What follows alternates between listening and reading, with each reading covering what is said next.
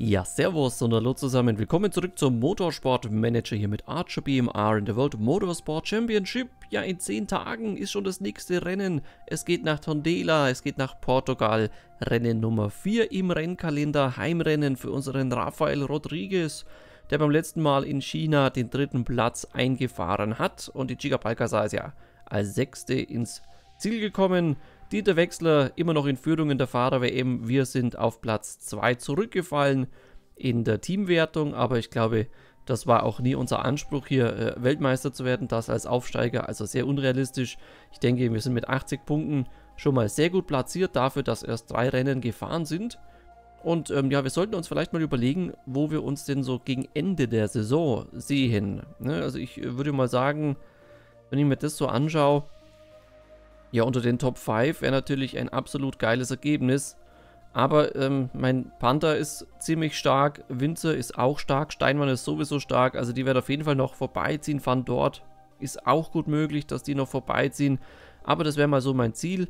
Mal so die Top 5 im Auge behalten. So ist vielleicht ein bisschen ehrgeizig, aber na, man muss sich ja immer sportliche Ziele setzen. Okay, also in Portugal wird benötigt ein Motor, ist nützlich und kritische Komponenten sind Getriebe und der Frontflügel. Das passt, ja, wir entwickeln ja gerade auch noch einen Motor, genau der ist in 8 Tagen fertig, sprich kurz vorm Rennen. Motorgetriebe, Frontflügel, ja gut, ich meine, da, da hat sich noch nicht viel getan, ne? ist auch klar, schauen wir uns erst einmal die Nachrichten an. Diesen ganzen Blödsinn kennen wir. Interview, nö, habe ich jetzt keine Lust auf Interview. Sieg für Lipponen und Scouting-Bericht brauchen wir, denke ich, auch nicht. Bei den Sponsoren tut sich was, oder? Nee, noch nicht. Beim nächsten Mal, okay. Dieses Mal läuft nur, also nur in Anführungszeichen, ein Rennprämien-Sponsor aus. Ich denke, beim nächsten Mal müssen wir uns hier der Situation stellen, dann müssen wir wieder unsere Fahrerrochade machen, zumindest äh, übergangsweise, in der Hoffnung, hier vielleicht zwei 5-Sterne-Sponsoren zu kriegen. Und das Rennen darauf dann nochmal. Ne, es geht ja hier um diese Langläufer, dass wir hier ordentliche Verträge bekommen, das wäre, denke ich, schon wichtig. Geldtechnisch gesehen, ich meine, moraltechnisch können wir uns das derzeit erlauben. Chica Balcazar ist äh, ja sehr positiv beeinflusst. Tolle Ergebnisse in Yokohama, in Peking. Und äh, ja, der Bonus von Gaston Renault plus 10, das macht sich ja auch nochmal bemerkbar. Also das einmal würde sie, denke ich, locker verkraften, dass wir sie hier so ein bisschen als Spielball benutzen. Und ähm, ja, danach muss man schauen. Ne? So, wenn ich es gerade sehe, genau nur noch 8 Monate Vertrag. Da kam ja auch so der ein oder andere Wunsch. Schaut doch mal bei Amy McLeod. Amy McLeod. Okay, die hat zwar keine schlechten Werte, aber hat absolut keine Sponsorfähigkeit. Deswegen, die scheidet schon mal aus. Wen hätten wir noch? Alexia Pernet, die ist, meine ich, auch recht gut. Genau, 100% Sponsorfähigkeit. Verfolgerin. Hasst das Führen, also an Position 1 ist sie nicht gut, aber an der 2 kriegt sie überall plus 2. Gut, ich meine, die hat eigentlich recht gute Werte, hat auch noch ein kleines bisschen Luft, ist derzeit arbeitslos, wäre vermutlich für ein kleines Geld zu haben. Die Konstanz ist nicht so prickelnd, ja. Muss man mal im Auge behalten, da mache ich mal ein Sternchen hin. Da mache ich mal ein Sternchen hin, definitiv. Aber ich meine, wir hatten doch noch so ein paar Kandidaten, ne, wo man gesagt hat, ja, das wäre ganz nett. Barnaby White, genau, das war Mr. Solide. Kein Potenzial mehr, aber solide. Cristiano De Oeste. Oh, der ist nicht konzentriert. Das ist keine gute Idee. Die Edda Jonsdott hier ist auch nicht konzentriert. Auch keine gute Idee. Der Mr. Ribeiro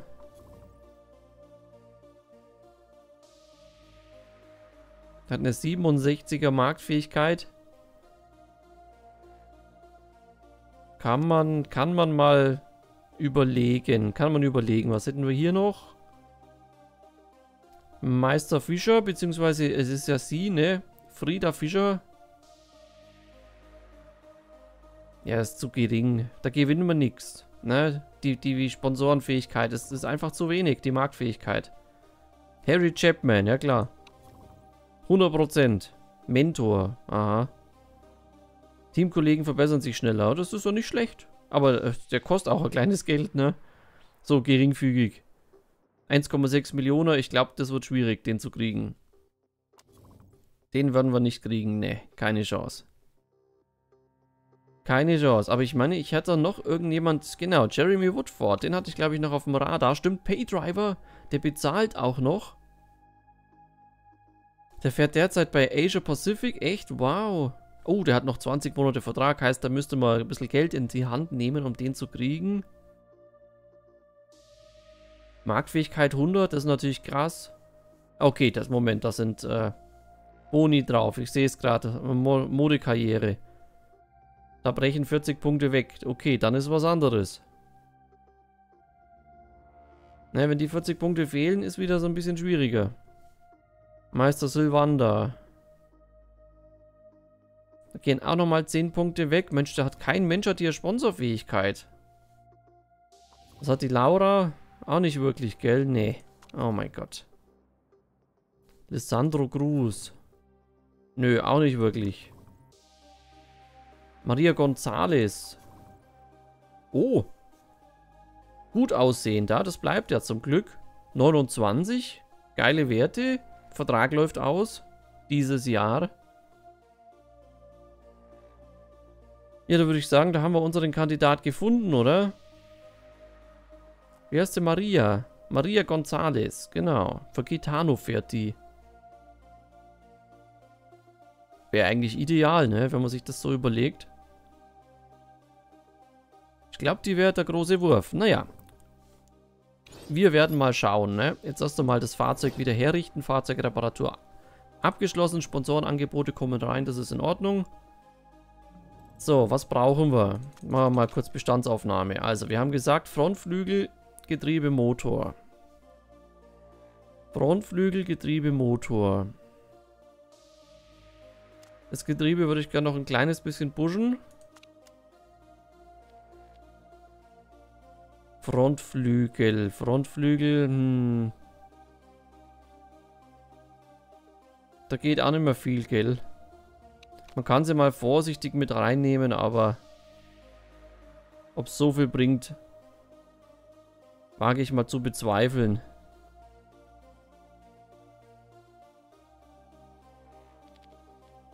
Wir können ein kleines bisschen mal so genau mal in die Richtung gehen. Ja, so machen wir das.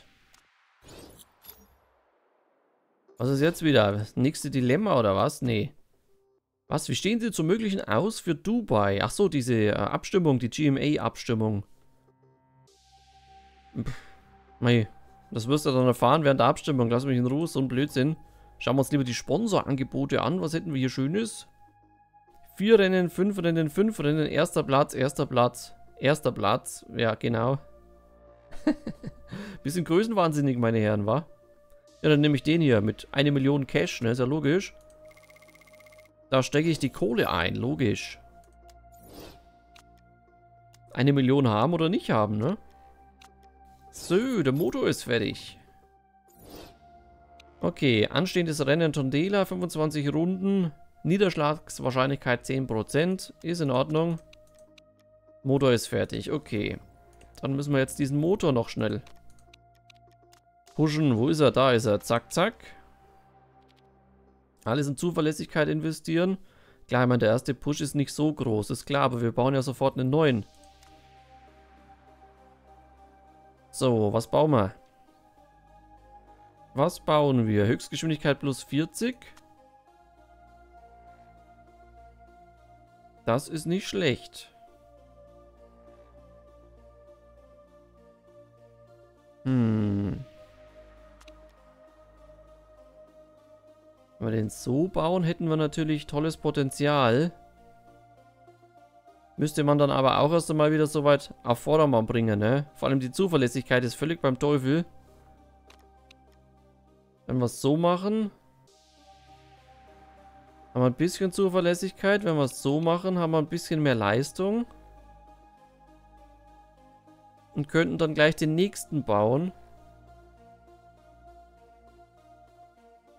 Ja, ist jetzt echt die Frage, ne? Vor allem hier kommen wir nicht rein. Das ist natürlich auch ein Problem. In diese großartigen Komponenten für den Motor kommen wir nicht rein, weil wir die Teststrecke nicht gebaut haben.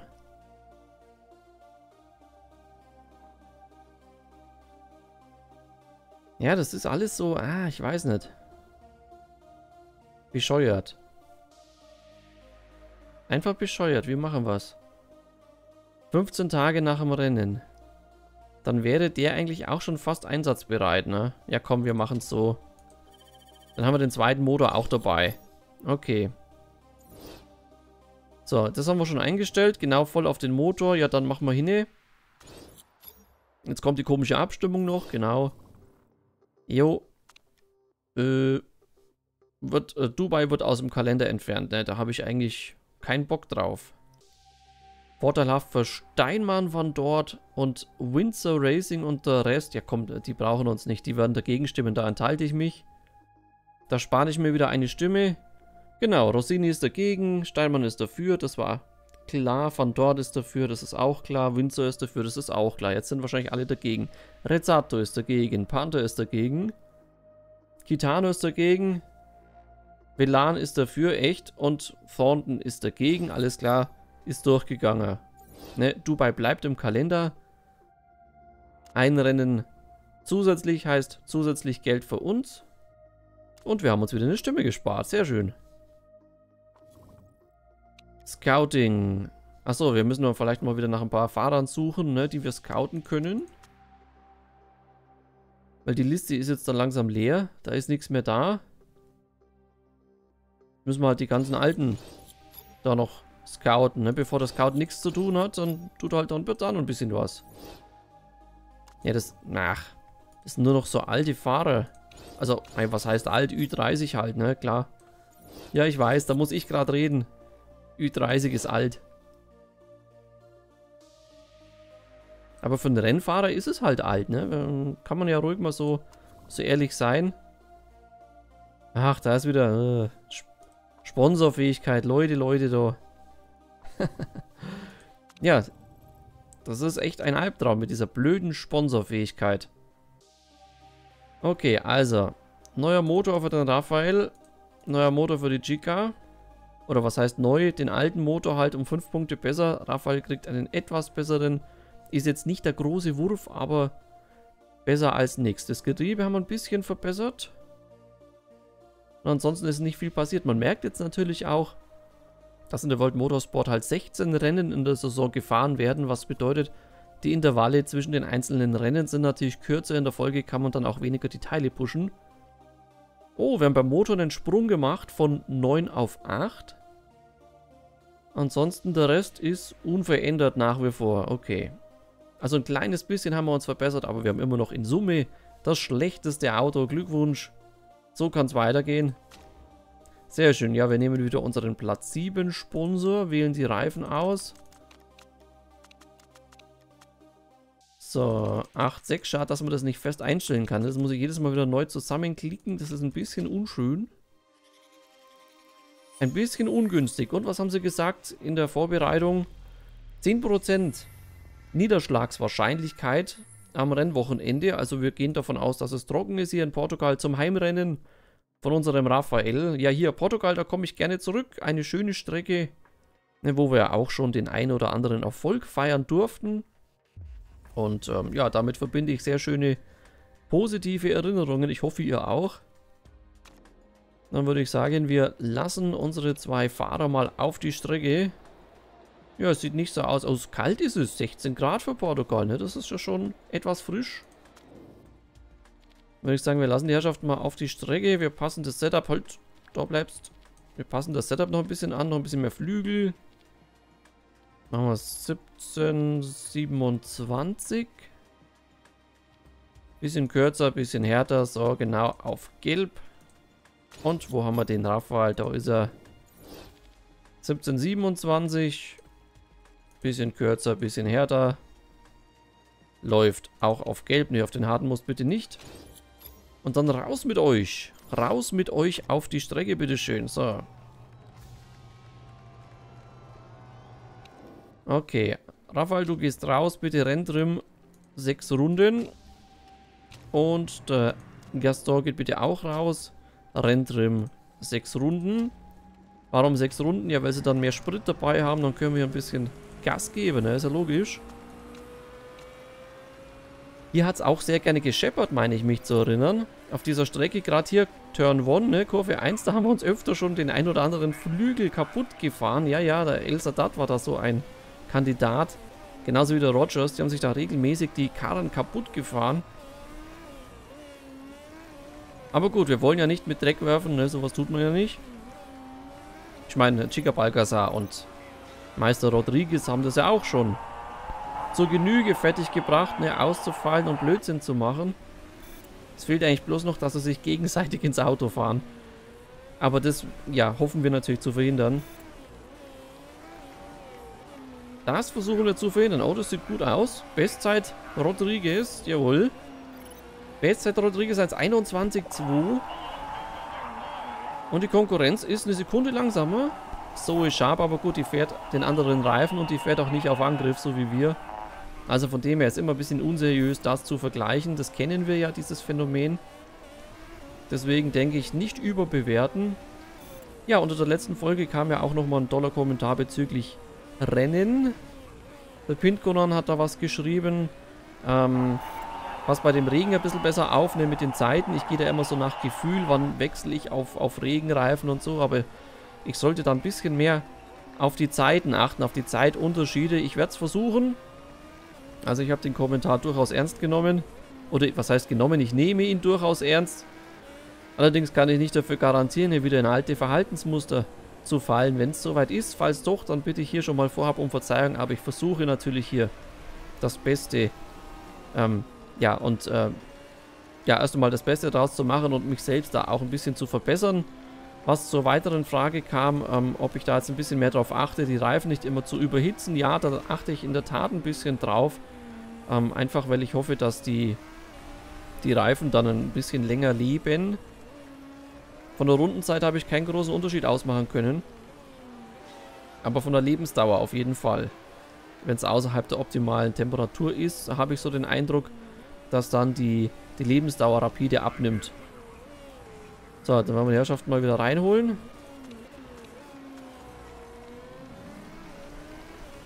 Meister Rodriguez, ich hoffe, du hast ein bisschen was gelernt über die Strecke.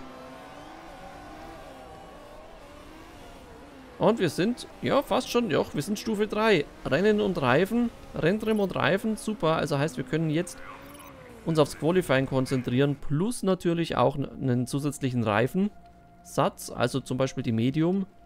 Und das, ja, das bleibt trocken, da tut sich nichts. Da tut sich nichts mehr, Leute. Okay, probieren wir es mal so rum.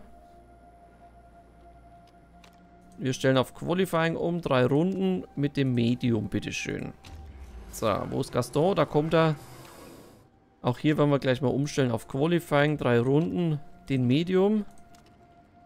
Und dann werden wir auch hier noch ein... Oh, der braucht ein bisschen mehr Flügel sogar. Ich gehe mal ein Grad nach oben. Bisschen länger, bisschen härter. Das sind wir hier schon nah dran, glaube ich. Naja, wir werden sehen. Auf geht's, Leute. Raus mit euch. Gott, jetzt können wir natürlich wieder ein bisschen prügeln. Zumindest den Reifen, den Sprit lasse ich jetzt mal. Die Jungs sollen ein bisschen fahren. Die sollen jetzt Erfahrung sammeln. Die sollen jetzt Qualifying drin und natürlich auch noch ein bisschen Reifenboost freischalten. Man könnte jetzt natürlich auch äh, versuchen, vielleicht irgendwie noch einen Intermediate-Bonus zu kriegen, aber wofür? Halte ich nicht für notwendig, ehrlich gesagt. Zumal wir ja sowieso einen Slot benutzen für den ähm, Krankenpfleger und den anderen dann wahrscheinlich für den Renntrim. Also bringt es, denke ich, gar nichts hier noch großartig Reifenboni freizuschalten. Da, so, da kam jetzt die Rückmeldung, das Getriebe ist zu lang. Ne? Wenn ich jetzt aufgepasst habe, richtig aufgepasst habe, dann war das, glaube ich, die Rückmeldung. Getriebe zu lang, wir müssen also ein bisschen kürzer machen. Langes Getriebe bedeutet für diejenigen, die das nicht wissen, dass die Übersetzung lange ist, sprich die Endgeschwindigkeit ist höher, dafür aber eine geringere Beschleunigung. Heißt im Umkehrschluss, wenn ich kürzer übersetze, habe ich eine bessere Beschleunigung, aber lande unter Umständen auf der Gerade zu schnell im Drehzahlbegrenzer, was bedeutet, ich kann nicht die Maximum Speed fahren, was möglich ist. Speziell ärgerlich dann, wenn du versuchst zu überholen, selbst mit DRS, wenn du es hast und du kommst nicht vorbei, weil du ständig im Drehzahlbegrenzer, im Limiter drin bist. Ne? Das ist dann auch dumm. Ist alles schon vorgekommen in der realen Formel 1, wo die Herrschaften einfach zu kurz übersetzt haben ihr Getriebe und dann nicht überholen konnten und jede Menge Zeit verloren haben. Tja. So kann es gehen. Das ist immer ein schmaler Grat.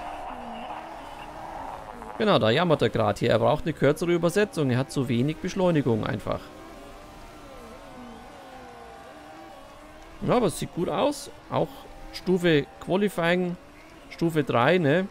Den, den Bonus, den sollten wir, denke ich, kriegen. So, jetzt kommen sie rein. Genau, Raphael. Okay, wir sind zu hart. Heißt, wir müssen wieder umbauen. Wir müssen ein bisschen kürzer werden. Wir haben uns verschlechtert. Der Abtrieb passt jetzt. Der Abtrieb ist gut. Ja, wir müssen noch einen Tick kürzer machen, glaube ich. So. So müsste es passen. Okay. Qualifying, drei Runden. Genau, du bleibst wieder auf dem hier. Den kannst noch schön kaputt fahren, den letzten. Auch hier haben wir den Flügel gut hingekriegt.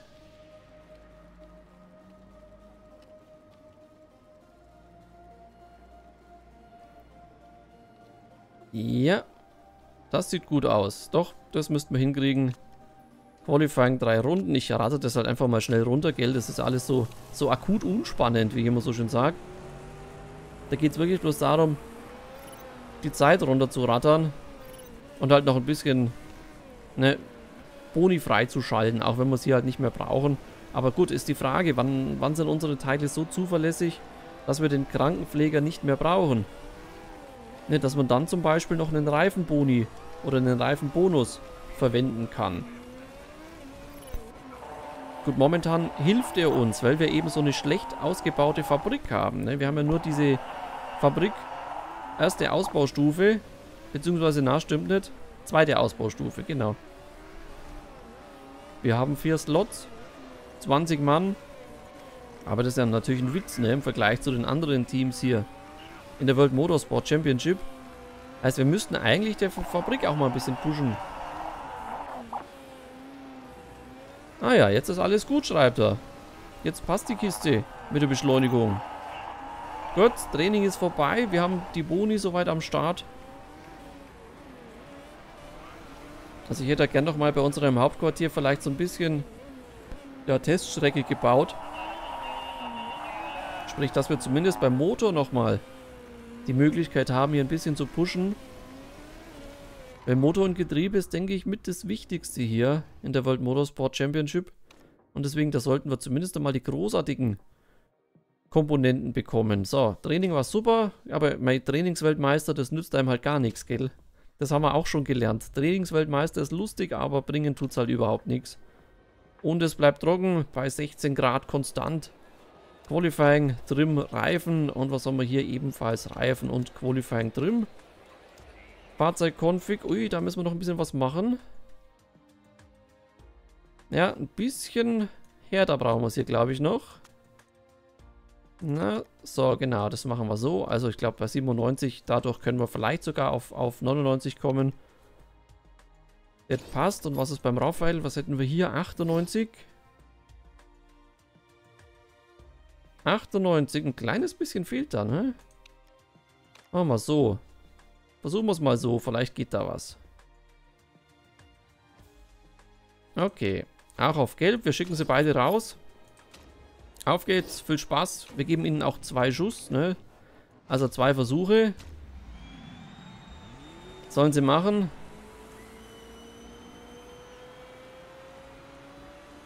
Auf geht's, Meister Rodriguez.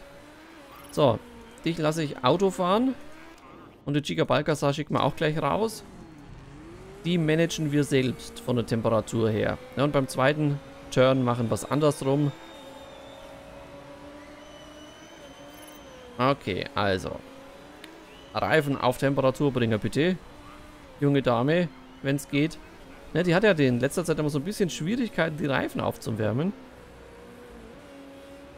Auch dieses Mal tut es sich echt herb. Wobei ich noch nicht rausgefunden habe, ob das irgendwie mit, mit den Skills zusammenhängt oder ob das Zufall ist, wie die die Reifen erwärmen. Raphael hat zumindest mal die perfekte Reifentemperatur. Das ist schon mal wichtig. Okay, Raphael geht auf die fliegende Runde. Und ja, wir haben es fast perfekt gemacht. Nur fast, aber na gut. Ein bisschen hat gefehlt bei der Bremsentemperatur. Jetzt bin ich gespannt. Gut, wir werden wahrscheinlich die erste Bestzeit fahren. Genau, natürlich. Wir fahren die erste Bestzeit, weil der Raphael einfach als erster draußen war. Aber das kennen wir, das heißt nichts. Genau. Ja, da hat Zoe Sharp gerade die Zeit überboten. Oder be beziehungsweise unterboten, ne? Unterboten ist das richtige Wort in diesem Zusammenhang, weil überboten wäre ja, oder würde bedeuten, dass er langsamer ist.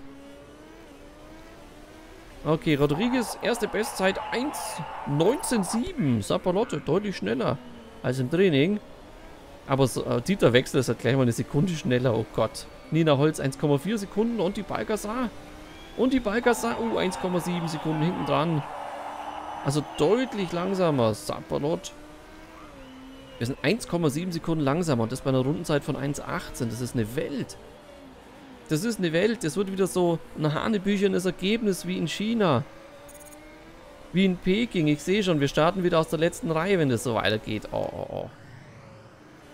Und das mit unserem neuen Motor. Ist, ist das bitter?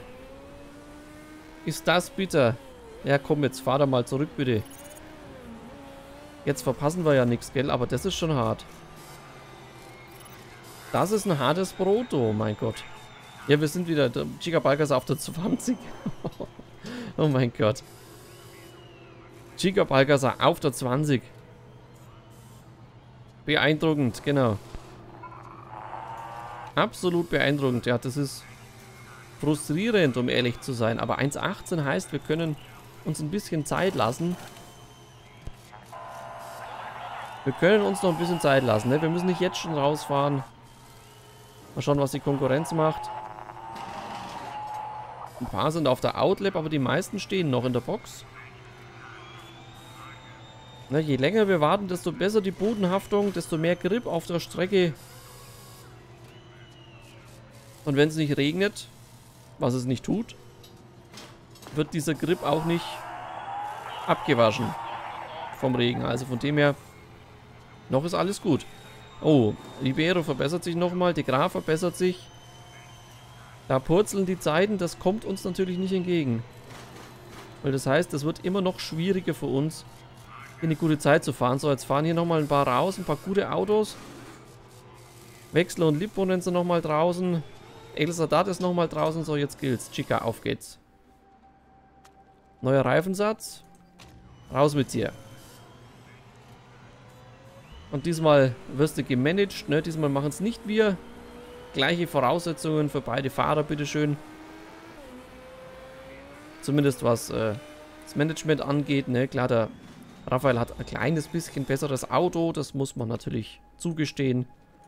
Aber das ist, denke ich, nur marginal. So groß ist der Unterschied nicht.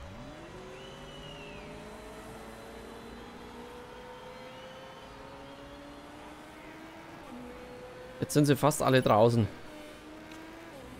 Jetzt sind sie fast alle draußen, ja. Nur ganz wenige sind noch in der Box. Nina Holz und Zoe Sharp sind zeitgleich, seht ihr das richtig? Platz 1 und Platz 2 sind zeitgleich. Das heißt, Zoe Sharp ist zuerst die bessere Rundenzeit gefahren. Ne? Im Falle von Zeitgleichheit gewinnt derjenige, der die Zeit zuerst gefahren hat. Und Chica Balgasar geht auf ihre letzte fliegende Runde. So, komm, komm, komm, komm, komm, komm. Perfekt und gut, ne? Das ist doch schon mal was. Immerhin. Perfekt und gut. Da kann man sich doch mal verbessern. So, was macht Chica Balgasar? Sektor 1. Schlechter. Keine Verbesserung bei Chica Balgasar im ersten Sektor. Das ist bitter. Da wird sie sich nicht verbessern können, denke ich. Was macht der Raphael? Die nächste Frage, ne? Sektor Zwischenzeit 1 müsste jetzt kommen. Hat sich verbessert grüne Sektorzeit. Bei Chica Balcazar der zweite Sektor ebenfalls nicht gut. Also die Chica, die wird auf dem letzten Platz bleiben. Und was macht der Raphael? Oh, nochmal. Persönliche Bestzeit im zweiten Sektor. Witzig, ne? Die Chica hat im letzten Sektor sich noch verbessert, aber trotzdem hat es nicht gereicht. Was macht der Raphael? Was macht der Raphael? Was ist drin? Was ist drin? Was für eine Zeit? Platz 17. Es wird nicht besser. Er hat Hinten raus hat er nochmal Zeit verloren. 17 und 20, mein Gott.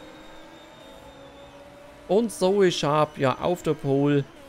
Vor Nina Holz, Dieter Wechsler, Surikov, Lipponen, Elsadat. Die ersten sechs. Oh Mann. 17 und 20. Das ist ja... Jo, das ist bitter. Aber es war zu erwarten. Es war einfach zu erwarten. Ja, die, die Zeit der guten Erfolge, ne, speziell im Rennen, die wird jetzt vermutlich dann auch bald vorbei sein. Ich mal schon wieder schwarz, ich weiß. Aber wenn es nicht regnet, wird es halt schwierig. Und es sieht nicht nach Regen aus, liebe Leute. Es sieht nicht nach Regen aus. Rennrem Krankenpfleger, denke ich, eine bewährte Kombination. Die sollten wir aktuell beibehalten. Die Config, jawohl, haben wir super hingekriegt. 10 Runden Treibstoff, ist das das Maximum? Ich schaue gerade, jawohl, ist das Maximum. Dann würde ich sagen, wir stellen alles wie gewohnt ein. Ja, und sehen uns hoffentlich beim Rennen wieder hier, beim Heimrennen vom Rafael Rodriguez, beim Grand Prix Nummer 4 in Portugal. Ich bin gespannt, ich hoffe, ihr seid auch wieder mit dabei. Ja, und würde mich freuen, wenn wir uns dann wiedersehen, wenn ich euch begrüßen könnte zum Rennen. Bis dahin, eine gute Zeit, macht's es gut und Servus.